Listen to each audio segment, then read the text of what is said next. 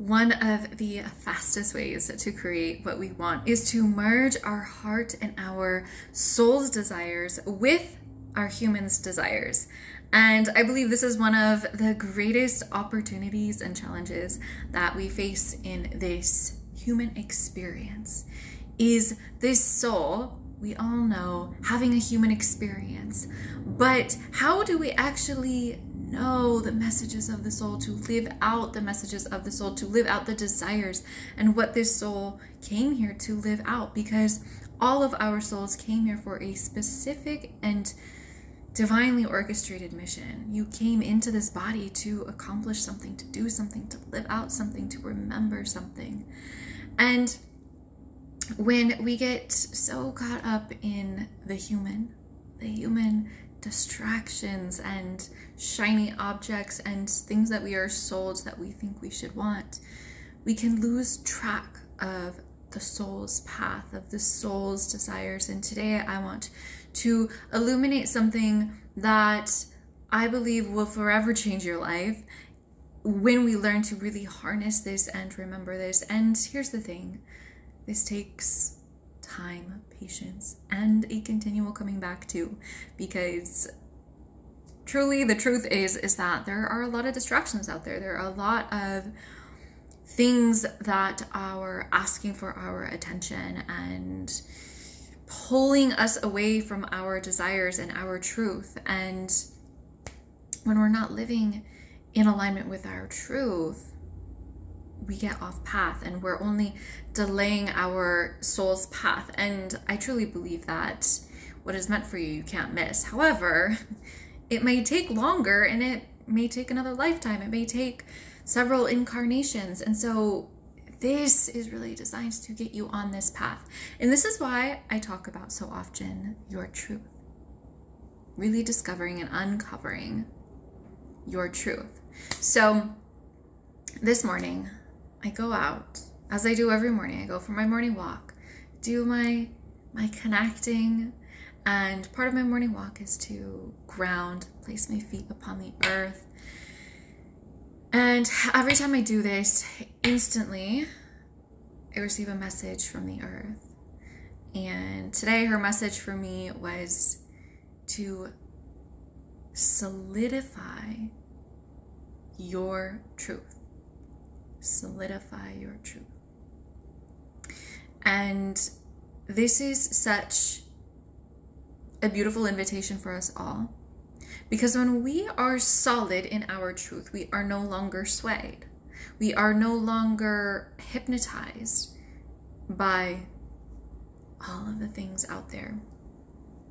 When we're living our soul's desires, it's funny because here's the thing our human thinks we think. we think we want these things. We think we want all these material things. And having material things is not bad. There's no, there should be no guilt, shame, anything for this to have and want and desire these. However, if they're merely from the energy of wanting to keep up with, to be because we perceive that they will bring us joy and happiness, they will never actually fulfill you and bring you joy and happiness. But when the soul desires to remember its power, let's say your soul came here to remember your power, which I believe that's part of all of our souls' mission to remember our power, because the truth is, you are a powerful being, you are you have the source of source within you, which is what my guide shared with me recently. And I just, oh my gosh, I just keep coming back to that. The source of source is within all of us. And so if you come here and remember your power, having whatever you want is a reminder of that. It's no longer to compare yourself externally and need it to validate or have it be a perceived metric of happiness, but rather it's a remembrance that I have the source of source within me and I can create, do, be, have anything I want. So, this is a very different place of wanting, creating, receiving. And so here's the thing that's very interesting is that our human desires alone will not fulfill the soul, but the heart and soul's desires always fulfill the human, will always fulfill us, will always fulfill what we are moving towards and working towards and moving towards in our lives. And so if you're finding like you've been spinning your wheels or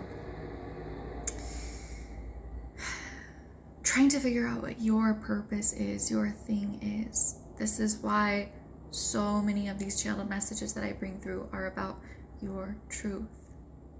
Your truth. Not Sally, Joe, and the collective's truth. Your truth.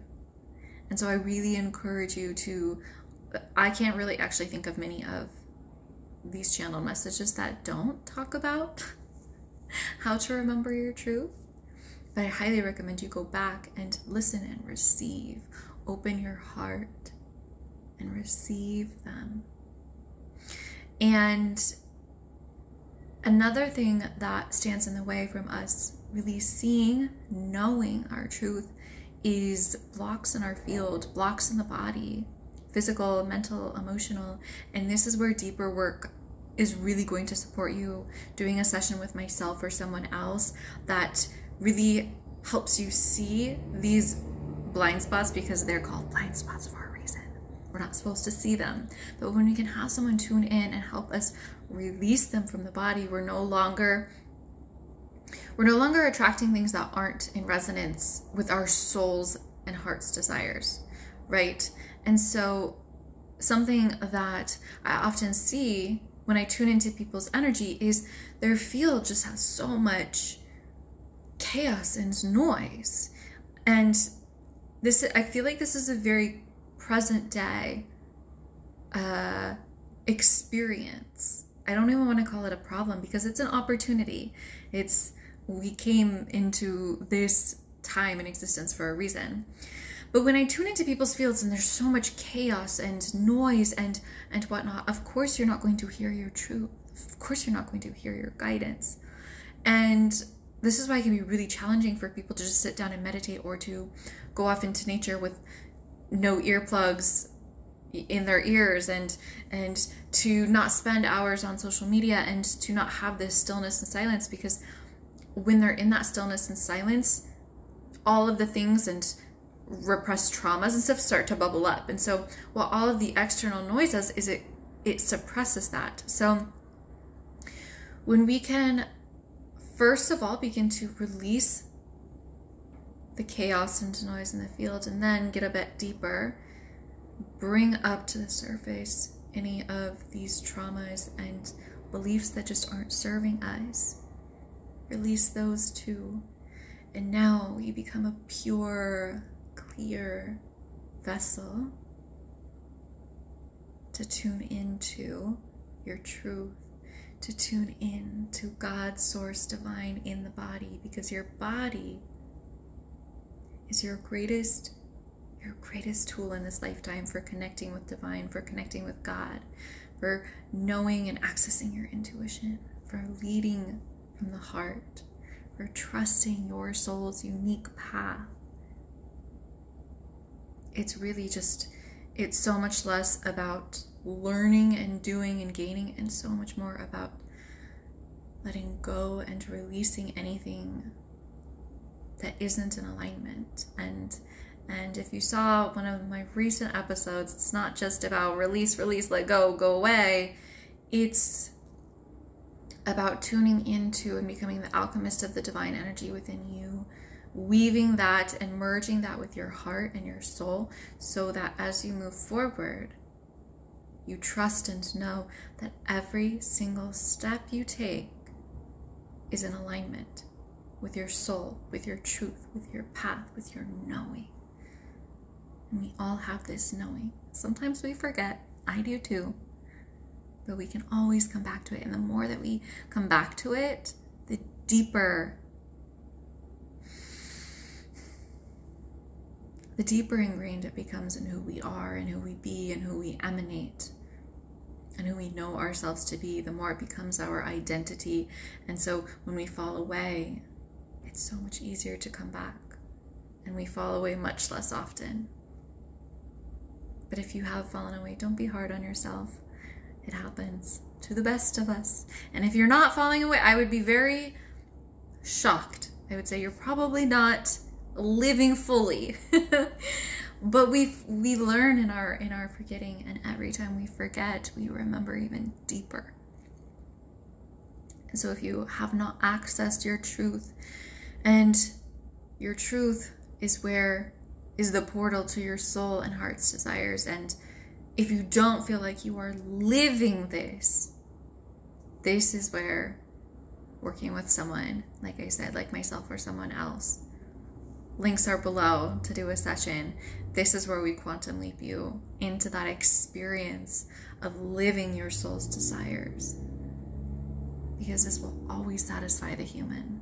The human's desires will not always satisfy the soul's desires, but your soul's desires will always be so deeply and richly fulfilling to your human. Always. And so, with that, I'm sending you all infinite love and light.